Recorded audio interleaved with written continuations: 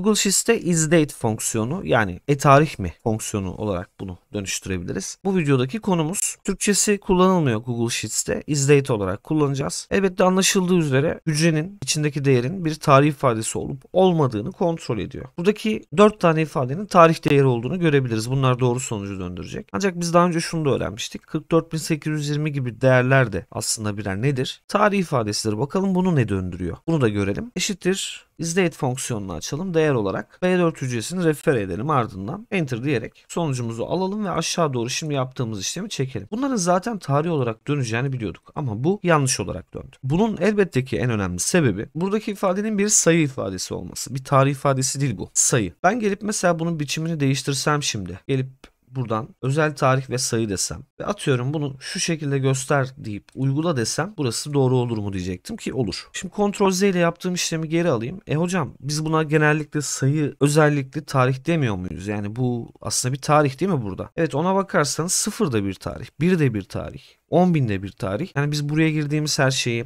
ile kontrol ettiğimizde tarih görmek istemiyoruz elbette. Ve bu tür bir kullanım varsa diyoruz ki sen bunu böyle kullanma. Gel bunu tarihe çevir. Tarihe çevrilmiş haliyle kullan. O yüzden de bu tür ifadeler izdate fonksiyonunda tarih olarak görülmezler. İşin bir başka boyutu daha var. Şurada 14.9.2022 tarihi dikkat ederseniz metinsel olarak buraya yazılmış. Ancak tarihsel ifadeler metinsel de yazılabilir, sayısal da yazılabilir. Bu yüzden doğru sonucu dönmesi oldukça normaldir. Çünkü bu ifade bir tarih ifadesidir. Bunu unutmuyoruz arkadaşlar. Sonraki fonksiyonda görüşmek üzere.